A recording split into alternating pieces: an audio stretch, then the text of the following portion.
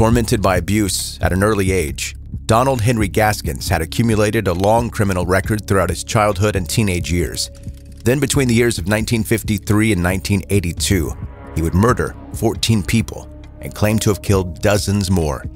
His troubled childhood would set the groundwork for a life of crime, leading Gaskins, or Pee Wee, to become one of South Carolina's most prolific serial killers.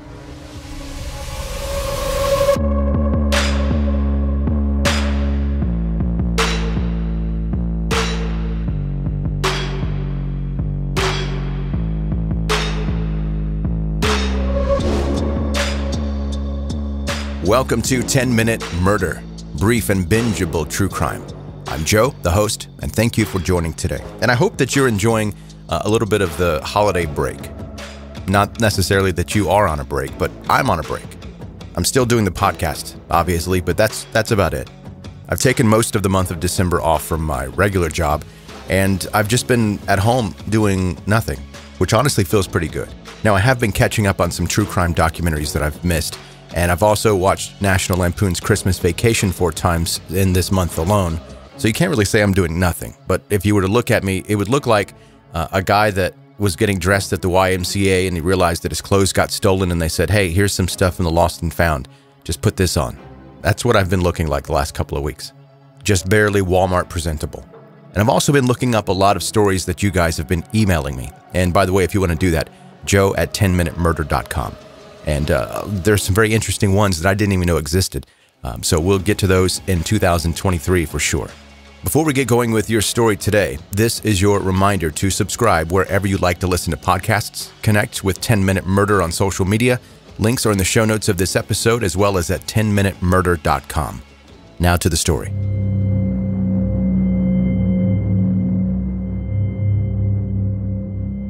Donald Henry Gaskins was born on March 13, 1933, in Florence County, South Carolina, to mother Eula Parrott.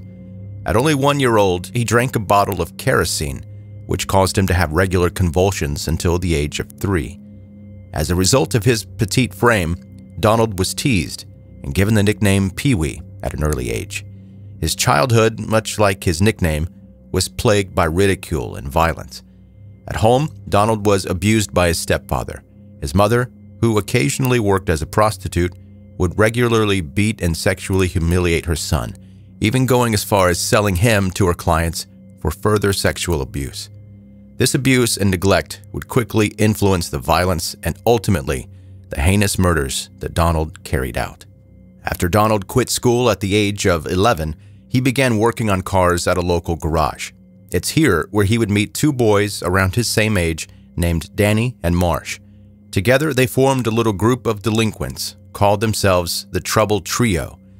The trio spent the next few years burglarizing homes, stealing cars, and committing more perverse crimes, like sexually assaulting little boys, and eventually gang raping Marsh's little sister. Donald was at this point still only 13 years old. In 1946, as Pee Wee was burglarizing a home, he hit a young woman in the head with an axe after she caught him in the act. The girl luckily survived the attack, and Donald would be arrested and convicted, being sent to the South Carolina Industrial School for Boys until he turned 18. Because of his small stature, he became an easy target, and during his time in reform school, he was attacked, beaten, and raped. Reform school did nothing to curb Donald's violent urges, and two years after he was released at 18, he was arrested for attacking a young girl with a hammer after a dispute. He was arrested and sentenced to six years in prison. It would be here, in prison, where Donald would commit his first murder. He slit the throat of a fellow inmate, earning him respect among the others, as well as three years tacked on his sentence after he claimed self defense. Two years after his release from prison, he was arrested again for raping a 12 year old girl. He was sentenced to six years. Pee Wee was paroled in 1968 and vowed to never return to prison. But not only would he return to prison, his crimes would soon be escalating in brutality. Donald's first non prison related murder would be in 1969 when he picked up a hitchhiker in South Carolina. He raped and tortured his victim for as long as he possibly could before sinking her weighted body in a swamp. This would be the first in a string of serial killings, and Donald would often drive around the coastal highways to pick up his victims. While he targeted mostly women, men weren't immune to his wrath, and he had a few male victims as well. His process for the killings is by far one of the most sadistic and disturbing details of this case. Donald would torture the majority of his victims, sometimes leaving them alive for days on end and cannibalizing their body parts. He would force his victims to watch, and in some cases, have them partake in the eating. By the 1970s, Pee Wee began to target people closer to him. He was known around town as being explosive and mentally disturbed, and most people avoided him at all costs. One woman, named Doreen Dempsey, however, considered Donald a friend, and yet Donald would commit one of the most grotesque and unforgivable acts at her and her baby's expense. An overt racist, Donald would rape and drown Doreen upon hearing that she became pregnant with her second child with an African American man. He took Doreen and her two year old daughter to a wooded area, and after he killed her, he sexually assaulted and killed her daughter. He buried the two together. At 42 years old, in the mid 70s, Donald had been steadily murdering people for several years.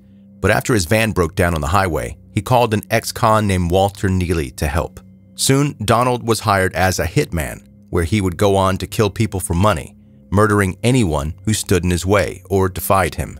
At one point, Donald called Walter up again to help him bury two bodies, and in the process, showed him the location of a burial site where his various victims were buried. Donald's trust in Walter Neely would ultimately lead to his undoing. After his sexual advances were rejected by a 13-year-old named Kim Ghelkins, Donald raped and murdered her. Kim's disappearance raised the suspicion of authorities, and suspicions were confirmed when authorities searched Donald's apartment and found clothing belonging to Kim Ghelkins. Donald was arrested. While waiting for the trial and under pressure from investigators, Walter Neely would show the police Donald's burial site Eight bodies were found, and both Donald and Walter were charged with eight counts of murder. On May 24, 1976, Donald was tried on one count of murder and sentenced to death, but later commuted to life in prison after the Supreme Court ruled that the death penalty was unconstitutional. The death penalty was restored in 1978, and in 1982, when Donald was hired to kill a death row inmate in prison, he was convicted and received a death sentence again. He was executed on September 6, 1991, in the electric chair. During his time in prison, Donald Pee Wee Gaskins would confess to dozens of other murders. Authorities believe that his count is in the hundreds, making him one of South Carolina's most heinous and prolific serial killers.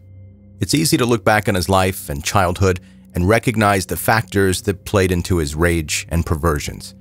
Childhood trauma often makes up the blueprints for future behaviors, but ultimately, it would be Donald's own decisions and disregard for human life that caused him to commit the most vile and unspeakable offenses. Authorities aren't sure how many people fell victim to Donald Pee Wee Gaskins, but what is known for sure is that he had no empathy for others, and that in this case, the punishment fit the crime.